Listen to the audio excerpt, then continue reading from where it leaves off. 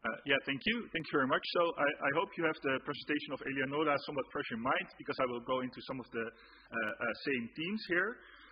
So this is very much, I first want to mention this is very much a collaborative project with my colleagues, Paul Fyfe and Ben Lee, who unfortunately could not be here today, but they are here in spirit, I hope.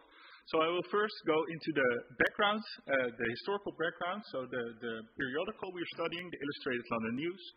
Then I will go into the problem of distant viewing Uh, illustrations, so not photographs, but illustrations.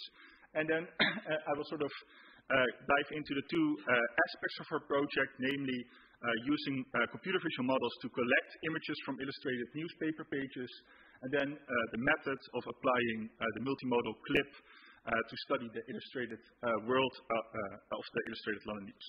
And finally, I will say something about our future project. First, something about the Illustrated London News.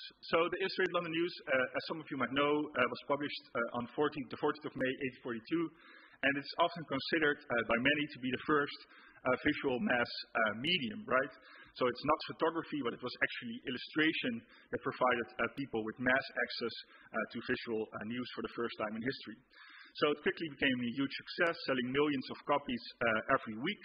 And it also um, sort of, there were many imitators of this famous English publication in the U.S., Europe, uh, all over the place, actually. Uh, so it has been studied as a sort of a visual world, a window on the Victorian world, So used to study British identity, the British Empire, the visual representation of all sorts of new technology. Think of the railway or the sewage system of London, but also many other uh, topics.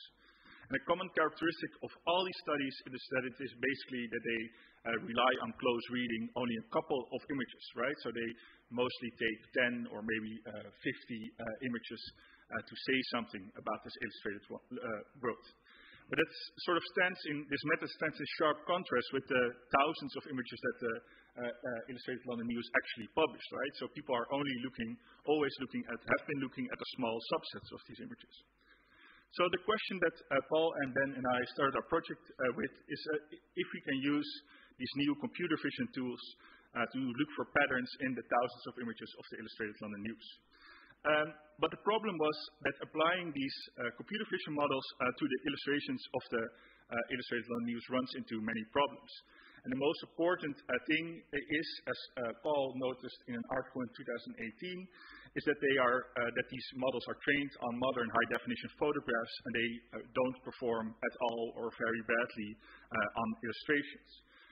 Secondly, what is also a problem is that most of these computer vision models can only recognize a couple of predefined classes, right? So they might be able to identify a chair, but they might not be able to identify, uh, like, let's, for example, say a carriage, which you might be interested if you're looking at the 19th century. And here uh, we sort of posit that multi-machine, multimodal machine learning uh, provides a solution. However, I will first go into the first step of our project, namely collecting the images from the digitized or scanned pages of the Illustrated London News. So for this initial step of our project, uh, we sampled two issues of the Illustrated London News uh, for every year between 1842 and 1900. and This results in a test set of around 1,200 uh, scanned pages. We then used the newspaper navigator model, which Ben developed at the National Library of Congress, to extract visual content from early 20th century American newspapers to extract illustrations from the Illustrated London News. This is actually not the Illustrated London News, but uh, it's the same uh, idea, right? So this is the French imitator. Uh so the performance, the newspaper uh, navigator model performs very well, but the problem is that we have a very high recall, so it recognizes the illustrations on the page, but a very low precision, right? So it recognizes the illustrations, for example, as a comic or an editorial cartoon. And these are all categories that Ben included in his model. So in the end, uh, we combined all these different categories into one category and just said all of the images that were recognized by the model, uh, we say that they are illustrations. So, we ended up with uh, around 900, sorry, so 1,874 illustrations. So we apply a clip to these images. So many of you have already heard a lot about clip, I think, at least today, but also in previous days. So clip is trained on modern uh, image text pairs uh, sourced from the internet, uh, around 400 million for, for CLIP itself. And it learns to connect, in, during training, it learns to connect these text to these images, right? So it trains two encoders, a text and an image encoder, to extract embeddings, so basically directions in a multi-dimensional space, and it learns to minimize the distance between uh, the original pairs in the multidimensional space and maximize the distance between all other uh, combinations. So what we, can we do with these uh, multimodal models? So here I refer or sort of um, shamelessly plug our article with Melvin that I wrote about the applications of the multimodal models in digital humanities research. But the most important thing is I think their zero-shot application, right? So because CLIP has learned to connect images with text, uh, we, don't have to rely anymore on these predefined uh, categories. So we can basically ask the model to find visual concepts uh, of all kinds of different things. So it also means that we don't have to label stuff anymore, we also don't have to train models for specific tasks. Um, and this is the, the second main advantage, and this was already highlighted by Eleonora, is that they also, because the model is trained on not only on photographs but also on illustrations, uh, it also performs very well on heterogeneous or mixed data sets, right? So uh, data sets that include images from different visual media, different periods, and also different qualities. And in the end, we can use uh, the embeddings that uh, CLIP extracts for different uh, cross-modality retrieval tests, right? So we have a text-to-image uh, retrieval test, an image-to-text retrieval test, but also an image-to-image uh, retrieval test. And I will go into the first and the uh, third one. So this is going to be all very simple, right? So basically, this is what Clip can do. Is basically you can ask it for, uh, you can give the textual query, and then it returns the, um, the image that is most relevant in the dataset. And this is just to show that Clip is very good at recognizing visual concepts in illustrations, right? So you ask it for a horse and it returns a horse. The same thing goes for a steamship, right? So it's all very straightforward, but it's actually, uh, for somebody who has studied uh, illustrations for a long time, is actually a huge uh, sort of improvement. Um, we also have an image-to-image -image classification or retrieval test, right? So we can not only uh, start with a, textual query, but also with an image query. So here we start with an image of a horse, and the model returns uh, illustrations of horses uh, in the dataset to us. Finally, and this is very interesting for me as a, study, a scholar of 19th century illustrations, it's also very useful, this image-to-image -image, retrieval test, to study visual reprint, right?